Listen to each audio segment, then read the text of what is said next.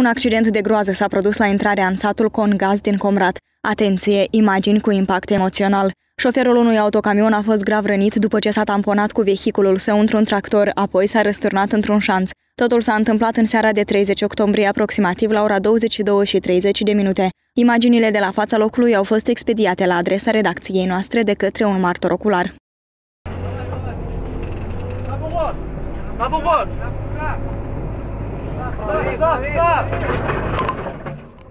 În imagini se vede un morman uriaș de fiare și sticle împrăștiate pe tot carosabilul. Presa locală scrie că preliminar totul s-ar fi întâmplat după ce șoferul autocamionului ar fi ieșit la depășirea tractorului. Din cauza vizibilității reduse, șoferul camionului a tamponat remorca tractorului, apoi a derapat de pe traseu și s-a răsturnat în șanț. Versiunea nu a fost deocamdată confirmată de poliție. La fața locului a venit și o ambulanță, iar medicii i-au acordat îngrijiri medicale șoferului de camion. Cercetările continuă.